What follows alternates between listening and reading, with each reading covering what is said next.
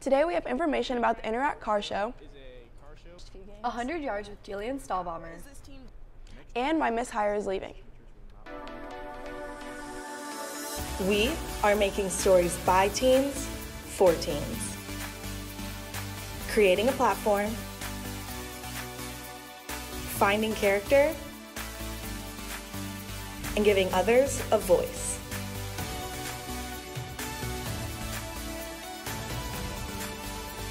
This is SVTV. I'm Jordan. And I'm Camryn. You're watching SVTV. If you had Miss Heier, you may know she won't be here as much next year. Let's see why. Next year, one of SHS teachers will not be here full time. We caught up with her to learn more about what she will be doing.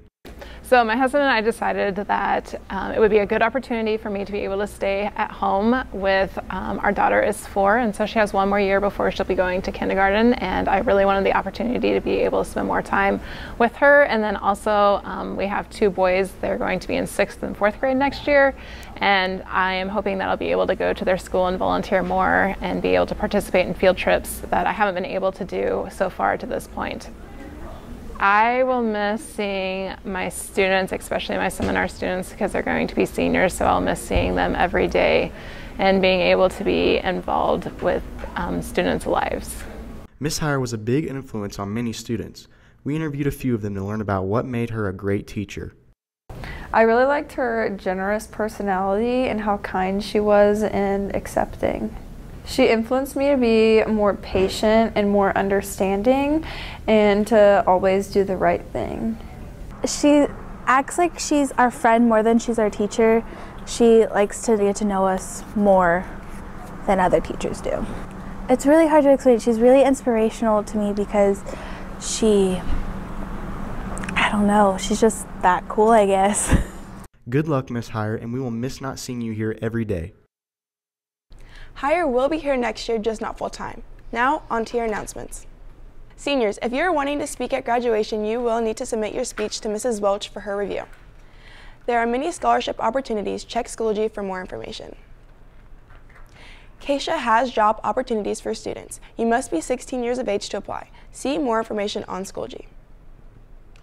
Students interested in driver's ed can enroll online on the high school webpage. The cost is $175 and you must be at least 14.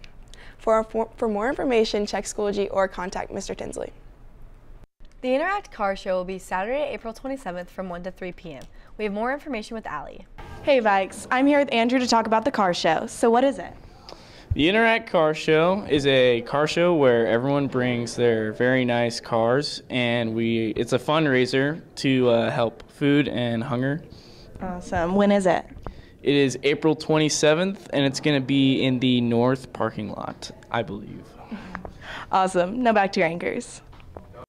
If you want to enter your car, make sure you get a form from Mr. Collins. Any student interested in joining the Writing Center next year must fill out an application on the website. All application materials must be returned to Ms. Sands by May 1st. If you have any questions, please ask. If you plan on attending prom and afterglow, make sure you have your student ID. If you need to get one, go to the library and get one there. Congrats to the many FCCLA members who competed at the state conference. The music students performed at Regionals Saturday and received top Division 1 rankings.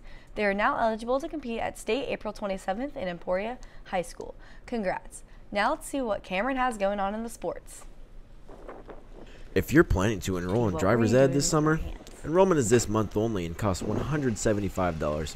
You must be at least 14 years old and a Seaman High School student. You do not need your learning permit to join. Classes will start on June 3rd and last three weeks. To register for driver's ed, go to the Seaman webpage and click on driver's ed. Cost is $175. If you have questions, see Mr. Tinsley. See you there, Vikes. We walked 100 yards with Jilyan Stallbaumer. Let's check it out. Kane is in the building.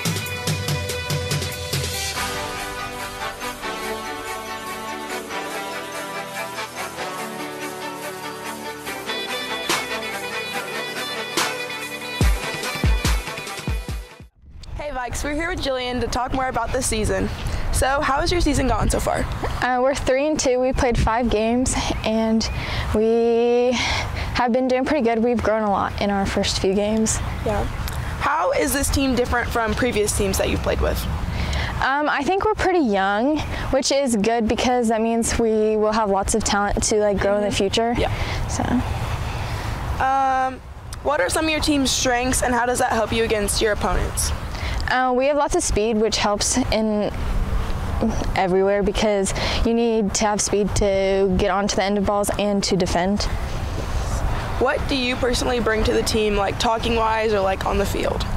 Um, on the field, I play center back, so I'm kind of in charge of making sure that um, everybody's in position, and so. Mm-hmm. Yeah.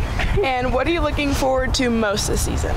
Um, I'm looking forward to growing as a team and having chemistry. Yes. And when is your next game? Our next game's on Friday against St. James. Okay, that's all we have. Now make sure you go out and support your Vikes this Friday. Now back to your anchors.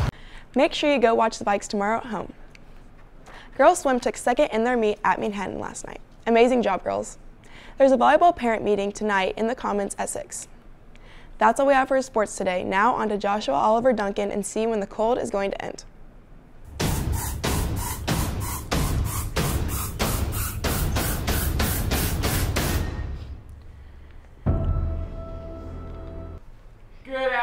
You. We've had a drastic change in the weather moving overnight, and that's leaving us feeling 40 to 50 degrees colder for today. So yesterday we topped that at 87 degrees, and today, thanks to a 30 to 40 mile per hour west wind in terms of the gusts, it's gonna feel like the 30s and 40s all day long. And yeah, that's 40 to 50 degrees colder than yesterday. You probably noticed the changes beginning this morning. Now, prom is coming up. We're just two days away, so it's time to take a little bit of a closer look. Right now, I'm calling for most of the day to be dry, cloudy skies, and a high around 52 degrees. That is a slight improvement from what I was calling for yesterday. Now, there does still appear to be a chance for rain, mainly late in the night. So here's the picture at 1 o'clock early Sunday morning, you can see an area of heavier rain to the east, but there's going to be some dry air on the northwest side of the system, so it remains to be seen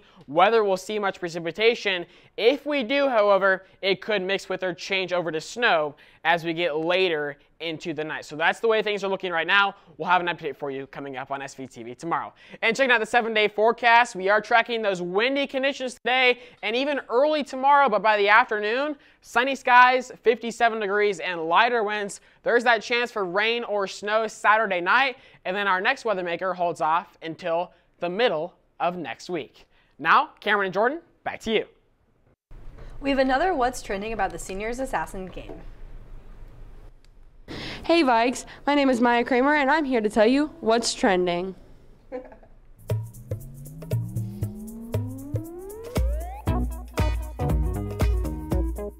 So, what is it? Assassins is a game that the seniors play and they all get together and they use water guns to eliminate each other until you get down to one person and that one person wins all the money that the seniors had put in. Okay, so how do you play the game? So you play the game by so I'm the godfather and I circle everybody up who's playing, which means I give them a target. And at their target, then they go after them after school with the different rules and they go and shoot them with their water gun. If they hit them, then they're eliminated and they go on to the next round. Okay, is there anything else you'd like to add? Um, this year's pot for the senior class is $350. So you can either split that with the last two people and make 175 each, or the first person, first place prize can get $300 and the second place prize can get 50. All right, thank you.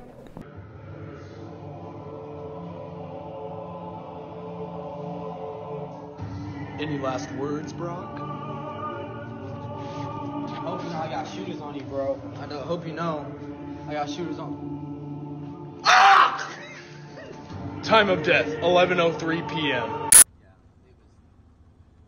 Hey Phoebe, I'm sorry. yeah. I swear, that was so. Pietro, I'm so sorry, but I'm your assassin!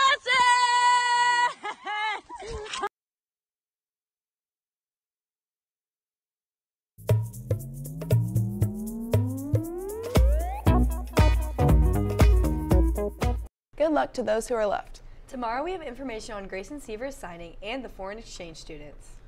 Thank you for watching. See you next time.